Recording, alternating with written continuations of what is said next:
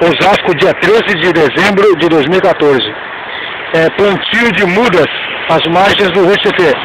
É, as mudas que estão sendo plantadas são mudas que fazem parte da nossa flora aqui do nosso país, né?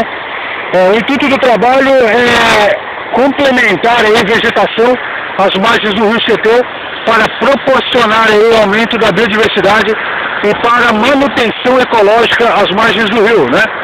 Esse rio aí, ele está aí numa campanha de despoluição, né, de suas águas, né? A gente observa que as margens do rio Tietê, aqui na jurisdição de Osasco, aumento significativo de espécimes de árvores, né? Ainda existe aí grande quantidade da espécime conhecida como mamona.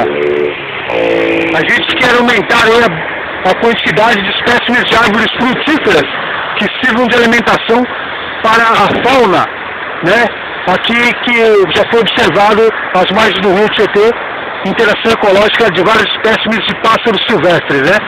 É, Observou-se também aves de rapina, répteis, tais como peru, calango, é, mamíferos de pequeno porte, tais como preás, médio porte, médio e grande porte, tais como a capivara, é, corujas, aves de rapina, preda, predadoras, né?